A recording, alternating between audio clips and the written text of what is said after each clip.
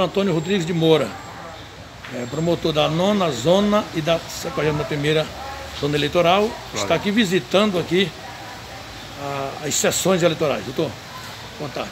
Pois é, o Ministério Público Eleitoral mais uma vez presente, né, acompanhando o processo eleitoral.